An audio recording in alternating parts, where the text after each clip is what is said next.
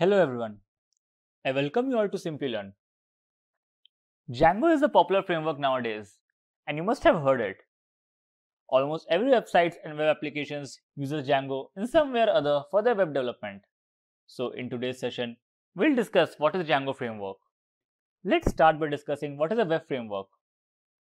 A web framework is a software framework that is created to support the development of dynamic sites, web services, and web applications.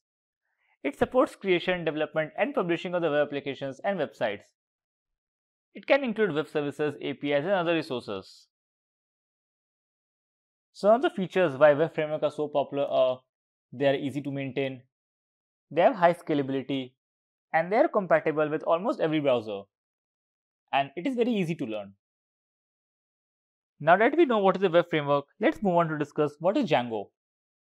A Django is an open source framework that is used for backend web applications based on Python. It is based on MVT web framework and its primary goal is to ease the creation of complex data driven websites. It can handle high amount of traffic and transactions. Now let's discuss why Django is so popular. First, it has a very vast and excellent community. Django has been in the market for the past 13 years, which means it has been used by millions of users and improved by thousands of developers. It is super easy to find a community of developers who know in and out of Django and have experience coding with it. The second feature is it is an open source software. Django was introduced to the market with documentation far above the usual standards of the open source technologies. It has improved over time and it is considered to be the best example of the open source documentation in the world. The third feature is it has an enhanced security. Django is super secure. It has covered all the loopholes by default which were once left open for the backend developers to compete. Although by using Django, you may not feel those loopholes, but the expert backend developers can tell the quantity and security of work done by Django. The fourth feature is rapid development. Django is a framework that takes less time to build web applications. While working with Django, you don't have to start from the scratch. You only need the basic knowledge of the backend because most of the work Django handles itself. The last feature is it is very versatile. The versatility of that application signifies its ability to perform well in different domains.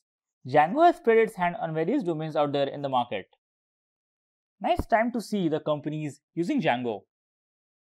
Some of the major companies are the Washington Post, Instagram, Pinterest, Netflix, Firefox, and many more.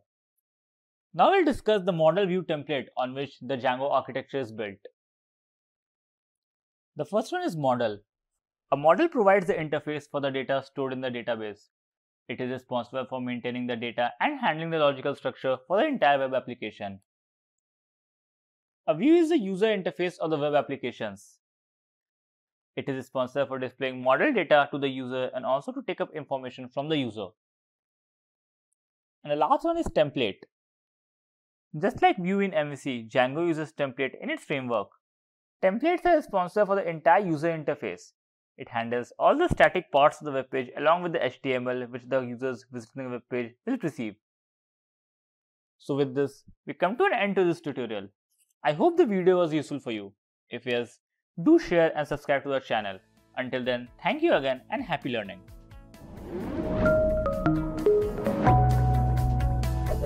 Hi there, if you like this video, subscribe to the Simplilearn YouTube channel and click here to watch similar videos. To nerd up and get certified, click here.